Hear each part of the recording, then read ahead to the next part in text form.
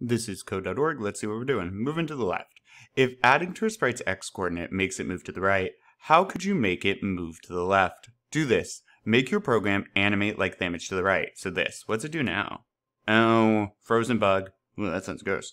Update the fly x inside the draw loop so that in each frame, the fly is drawn a little bit further to the left. Cool. Okay, so our fly is not moving at all right now we are still drawing this 30 times a second because the draw loop runs 30 times a, sec- a second. It's just 30 times a second. It just draws a plain sky background, draws our sprite, the fly, hits the bottom, loops back around, covers it up with the sky, but then redraws the sprite before we can even see it. We need it to move though. So the counter pattern. All right, what do we want it to move? The fly's X. Let's head over to sprites. And if I grab sprite X and just drag and drop, it will autofill. Let me reset. It autofills out an equal sign for me, which is great because I need it. So now I'm going to have fly.x is equal to what? Well, I need it to move to the left. So I often will hover my mouse. If you hit run, it doesn't show you up here, but will still show you down here. But if you're not on run mode, I'm going to put my mouse up here and I need it to move left. My x right now is 383 and if I go this way, x is going down. So what do I want to have it do? I want to have it subtract from x.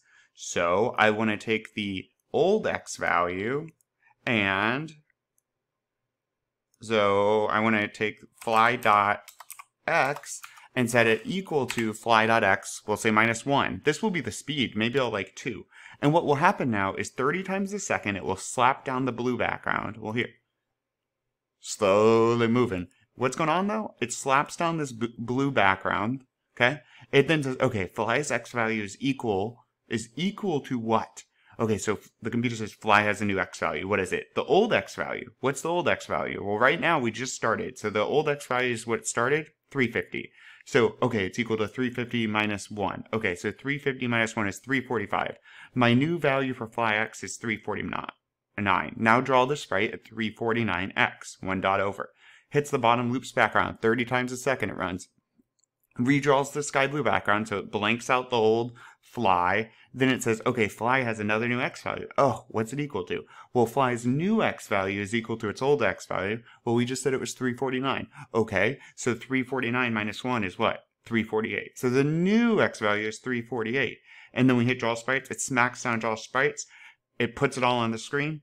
And so we see the sprite, and before we can even notice it, covers it up again with the background, moves this fly over one more, draws, and it gives the illusion of movement. Watch what happens, maybe I want to change the speed to 2. Double is quick. Killer fly. cool. Onward.